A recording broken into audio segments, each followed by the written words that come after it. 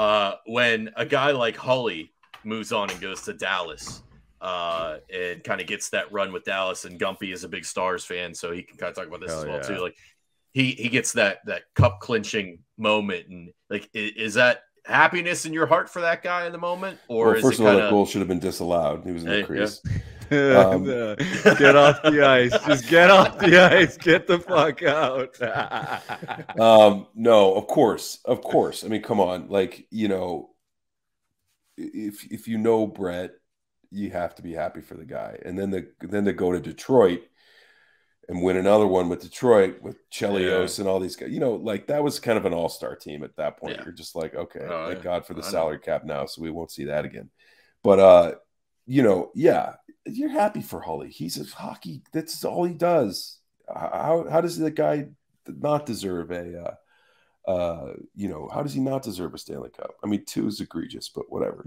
um, no, I was very very pleased for him. I'm I'm I, he's he's a good good friend and he's a good good guy, and I love him. I love him to pieces. He's just he's you know he's one of a kind. That's that's that's the best you can say about Holly. There's Legend. the stories that we've all heard are all true and they're all amazing. I I played I played with Holly very briefly uh, in Arizona. Okay, he so uh, the Coyotes. I was on the Coyotes. the lockout happens.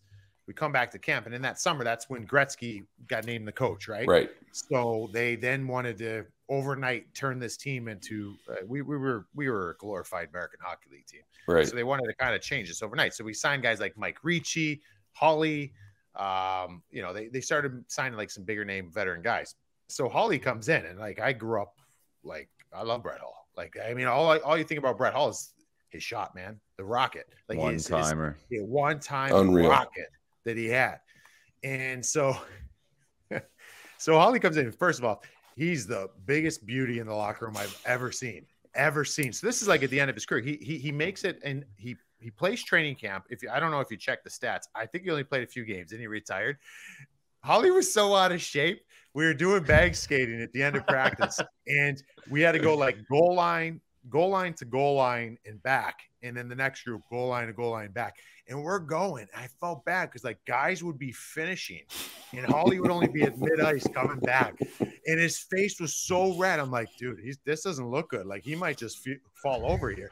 And so in preseason, I'm sitting there, and I was on a line with him in preseason. It was me, Mike Leclerc, and Holly.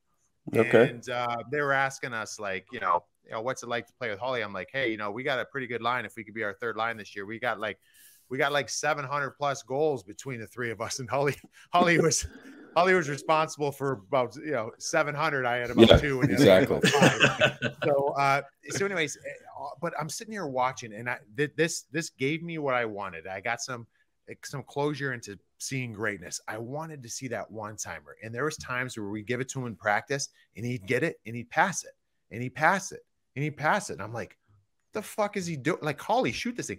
And in one preseason game, he let one one timer go, hit the goalie right in the collarbone, Oh geez. dropped them like a bag of potatoes. I'm like, I've seen it now. There you I'm go. good. So uh, that was the last uh, Hull, but an absolute beauty. Yeah, no, you're right, man. He's uh he's a fun one, that's for sure. Yeah, there's obviously there's a million stories, and I'll tell one that I think can be shared by the the general public. But uh, this is obviously I've heard this secondhand. But Chaser tells it. He says we're they're in L.A.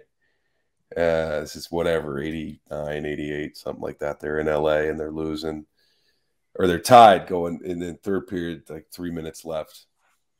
And you know, as you said, Hully's Hully's he's got a lot of facets to his game, and they're all of offense. Uh, but they're going, they're going. Whoever the coach was at the time, Quenneville, maybe I don't know, throws him on the ice at the end of the thing, and uh, goes over the boards. Okay, he's on the ice for a minute, minute and a half, two minutes. Hell, get off the ice, Brett. Get off the ice, Jesus, get off. Change, change it up. Won't come, won't come off the ice. Won't come off. Finally gets the puck, pass me the puck, slam the stick, passing the puck, scores, snaps it skates back. Holly, what the fuck were you doing on the ice? Goddamn it. He sits on, he puts one leg up on the on the boards on the thing. He's like, it's LA. Like, we're fucking going overtime. Wanted to hit the clubs, you know? It's just that easy. He, I, I'll, I'll tell you one, Gump. You'll like this one because it happened in, in Dallas. And so I, I'm. This is again secondhand, but the guy I played with was on the team in Dallas. Uh, he said that I don't know if it was Holly's 1000th game. He had some milestone that was happening. And he came to the rink and uh, the guys come to the rink. So on, on game days, when you go into pregame skate, usually the lineup's on the board for the night and you at least know where, where you're playing, whatever. So Holly was playing with uh, third, fourth line guys. I don't remember which guys in, in particular, but um, and he was I, I I heard that he was just like is this is this for real? And he's going up to guys. Do you believe this? Do you see this? And and and, and Ken Hitchcock was the coach. Yeah. Do, do you believe this? Do you, do you, do you, what's going on? Do you believe this? I don't know, Holly. I don't know. I don't know. So I guess he was he was pissed. And then um I guess in the game he he's just like he's not happy because this is like a milestone game for him, and you probably shouldn't have done that in that game. So there's uh apparently there's a delayed there's a or sorry there's a penalty like a bench minor, and they need someone to serve it, and they tell Holly Holly, go serve the penalty. He gets over the boards, and the guy said it literally took him two and a half minutes to skate across the ice to the belly. he was skating, Skating sideways. and went over there, and he just his attitude the whole time was whatever. And he came to the bench, and apparently Ken Hitchcock said something to him, and was like, "Holly," you know, Ken Hitchcock has that high voice, like Yeah. "Holly," you know, ah." and the boy said that he turns around and he goes, he goes to Hitch, he goes. Listen here, you fat fuck.